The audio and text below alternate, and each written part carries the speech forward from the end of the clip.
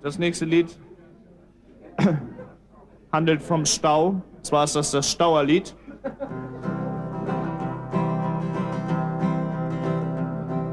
Ja, wir sind die Stauer, wir stehen auf Stau. Wir finden jeden Stau eine Schau.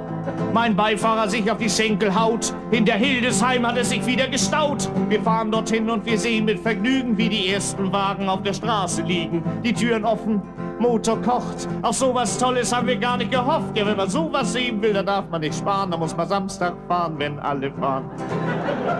Das größte Erlebnis hatte mal mein Freund Peter, der kam in einen Stau von 80 Kilometer. Die haben sie nachts mit Rotkreuz verseucht. Der hat sich von denen die Decke gebeugt. Da war eine Gulaschkanone mit Linsen und so.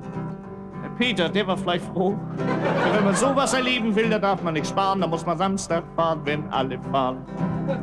Beim Geburtstag meines Sohns, da war ich ziemlich helle, da baute ich nachts eine Scheinbaustelle. Mein Kleiner rief, Mensch, ich dank dir, Vati, das wird eine ganz tolle Stauerparty. Und am nächsten Morgen, was soll ich sagen? Da standen da schon an die 2000 Wagen. Aber wenn man sowas erleben will, da darf man nicht sparen, da muss man Samstag fahren, wenn alle fahren. Da ich auch noch Vorsitzender vom Stauer Fanclub bin, meine Frau ist natürlich auch mit drin.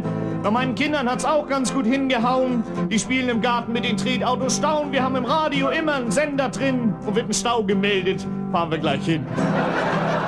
Aber wenn man richtig was erleben will, da darf man nicht sparen. Da muss man Samstag fahren, wenn alle fahren.